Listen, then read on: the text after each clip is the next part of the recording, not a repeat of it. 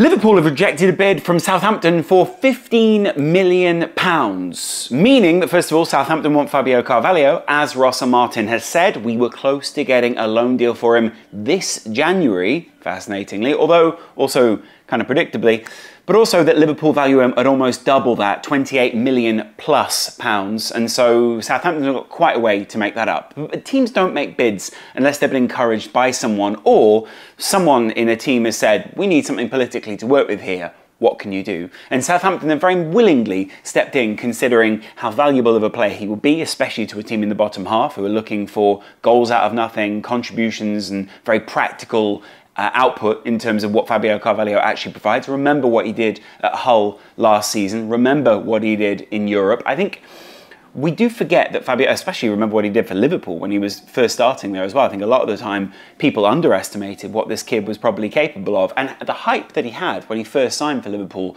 was certainly justified. I think he's a very talented player out on the field. And we've seen a lot of him in this preseason. We've seen like, you know, sevens and eights in terms of journalists rating him for game contribution, but also practical output in terms of goals. Like him actually scoring, him actually doing something and putting Liverpool in a stronger position for being on the field.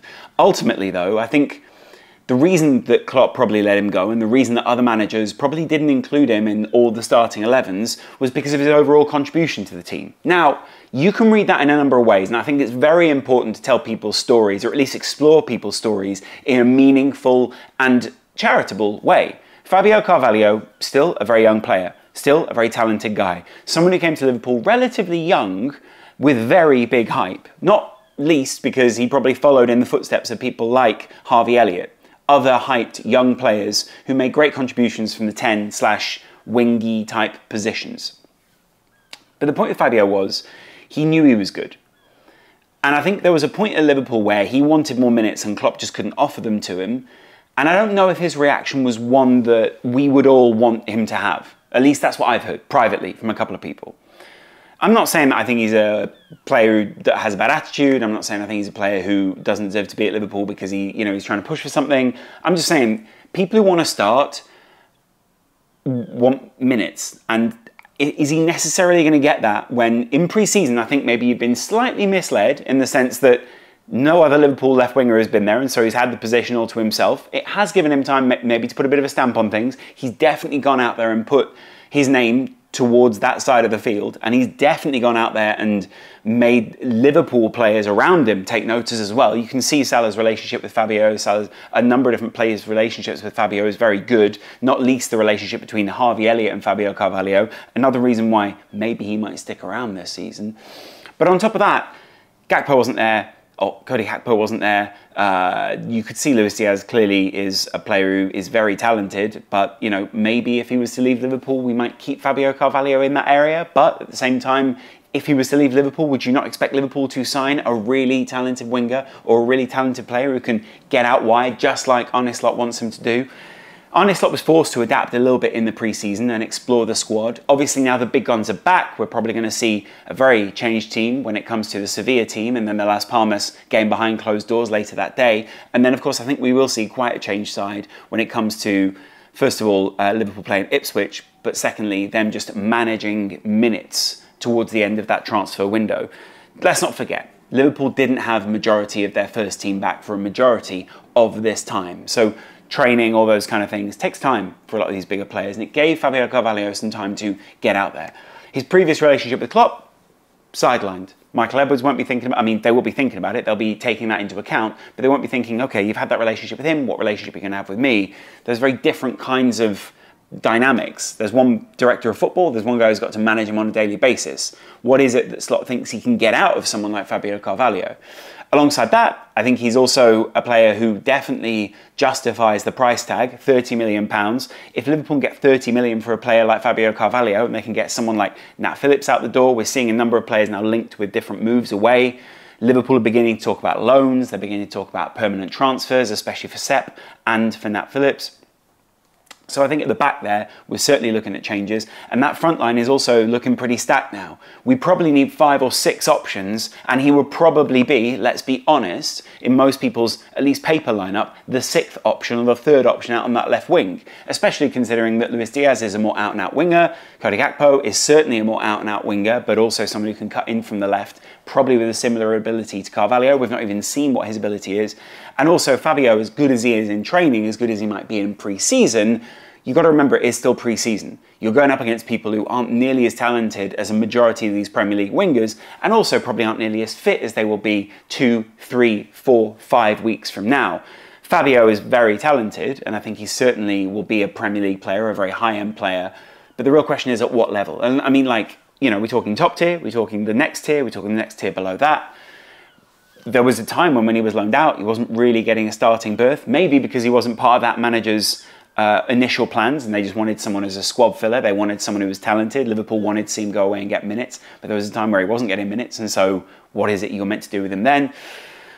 But also, Liverpool have to, if they are going to have this policy of staying within PSR, which is probably roughly where we're at. But also, you know, if we are going to make some transfers, we're going to have to move some people on. But also, if Liverpool are going to have this policy of bringing young players in, not all of them are going to make it. Not all of them are going to be in a position where it's like, okay, you get into the first team. It would be great if everyone could make it through the academy and then make it straight into the first team. But there are only 23 spots on that team. And in a modern side where, let's face it, you are using units of players, some players will be starters, some players will be those second units or those third units when you want to change your shape, when you want to change your emphasis, when you want to change where you're going to get a goal from. And I think if Fabio Carvalho is thinking, I want to be a starter for Liverpool, it totally depends on what Slot wants him to do. And at the moment, I don't know if he profiles like one of those wide slot wingers that pulls the back line far apart, or if he profiles more like one of those players that when Liverpool want to change things up, they will go down that route. The real question is, what would he be comfortable with? What would Fabio Carvalho say? Well, actually, I will accept that role at Liverpool this season because I'm not going to go to a Manchester United, I'm not going to go to a PSG, I'm not going to go to another massive side, and I'm going to fight for my position. And also, I'm going to be happy to be a second unit going out there and changing the shape for slot, proving that I can play these roles, proving that I can get these minutes. And also creating stronger relationships with the players around him, more reason for those people to stay, taking probably a better wage at somewhere like Liverpool than if we probably get at somewhere like Southampton or anywhere else in the Premier League right now. And also probably staking more of a claim to getting into under 21 sides, England setups, those kind of things, because higher end managers are going to be looking at those kind of players. I've got to admit, I think, especially when you look at Fabio, I think he's an extremely talented player, but I, I still see him on the fringes of this team because, you know, Luis Diaz, Gakpo, they are the starting guys out there. Nunez is probably also out on that left wing if he's not starting out as a striker. And we're probably going to look for a striker who can run out to those positions and work the front line a little bit more. Fabio has been often compared to Philippe Coutinho, and I think it is a, it's a very valuable point to make here. Coutinho was a talismanic style player for Liverpool for a long time, especially under Brendan Rodgers, but early on in the Klopp era. But ultimately, Jurgen Klopp chose to let him go. I know he was pushing for that move, but he was pushing because he wanted to leave Liverpool because he thought there was a higher ceiling there. He thought there was a higher ceiling for his career, but also what he could achieve. Fabio Carvalho might not be exactly like that, but the comparisons with Coutinho have been there. I'm not 100% sure. I think the fact he's small, the fact he is tricky, help him a lot, like in that comparison. But I don't think he's a Coutinho type player. He's not, I'm going to go out there and change the game type player. I know he's done some very special things, but systems require different things to what Coutinho did, and that's partially why when Coutinho moved away, he didn't thrive in the way that people thought he would. My point is, Klopp moved him on, and he was moved on because he wanted to leave the club, because he wanted more minutes, because he thought he had a higher ceiling. The same goes for Fabio here. What is it that he wants his career to be? What is it that he's willing to sacrifice in this time in order to get ahead later on down the line? Harvey Elliott, a great model. Fabio is probably looking across at him going, I'm mates with him. I feel like an equal to him. He's probably looking around him in the squad and going, I'm technically ahead of all these other guys, but physically, is he ahead of everyone else? He, does he fit what Slot wants in terms of pace? Does he fit what Slot wants in terms of ball ability in terms of I can get this pass out here, I can get this pass out there. I think his movement is fantastic. I think Slot's used him very well, but in pre-season, managers can afford to do that. Look at what United did last night. Look at what Arsenal did against Liverpool. They're just slotting different players in there and seeing how they play. That's not an indication necessarily of what a manager is going to do long term for him. I'm not saying therefore he can't, he doesn't have ability, he can't fit into this team. But what I'm saying is we just have to look at what stories we're telling within the fan base here. And if we sell someone like Fabio Carvalho or ask him to go on loan, I don't think that's always the most negative thing. Liverpool will have plans. And if you don't fit them, frankly, I think it's down to the fan base to support those plans and those ideas and do their best to back up whatever it is that the Liverpool setup is doing. I'd love to know what you guys think. There's probably going to be a lot of loans, a lot, a lot of, a lot, a lot of sales over the next couple of weeks, or at least attempted sales. And we're going to see a lot of people questioning a setup and using it to poke at FSG or Michael Edwards or whatever. Give these time people time to get some their feet under the table, please.